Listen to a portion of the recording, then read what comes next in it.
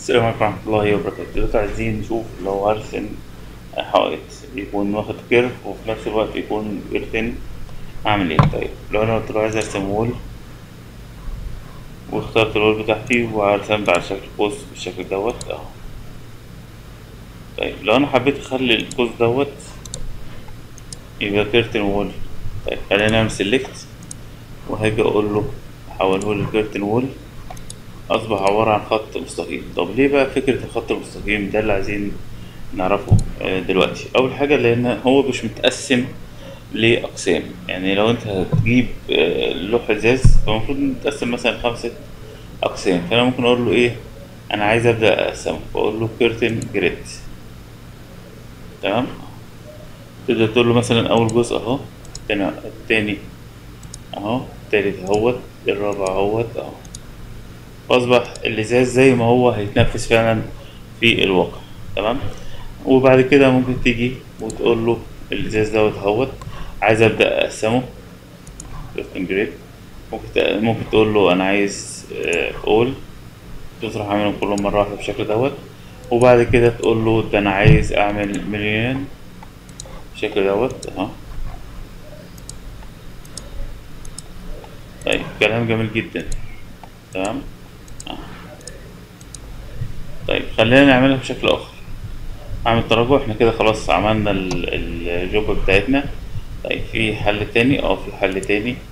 إن أنا هاجي هنا وأقول له طيب وأقول له ابدأ ارسمهم لي. أنا هبدأ أشوف المسافات هتبقى قد إيه. ده ال vertical وده ال horizontal. ال vertical هقول له مثلا fixed distance مسافة معينة هبدأ أحددها. أهي بالشكل ده. وال horizontal ممكن تقول له fixed number مثلا وتكتب الرقم اللي أنت عايزه. هنا أهو ده ال fixed number اهوت طيب لو حصل join في تقاطعات هتبقى موجودة. تمام أنهي واحد فيهم اللي يمشي ال vertical ولا ال horizontal تقدر تشوف أنهي واحد فيهم اللي يكون ليه الأولوية. وهكذا طيب لو أنا عندي roof ممكن مثلا ال roof بتاعي آه، ممكن ال roof نرسمه من خلال آه، roof by face أو نرسمه roof by extrusion. واقول له مثلا pick plane هنبدأ نشوف plane اللي نرسم عليه. ولكن مثلا دوت OK. وأبدأ أرسم ال roof بتاعي على شكل. curve بالشكل دوت.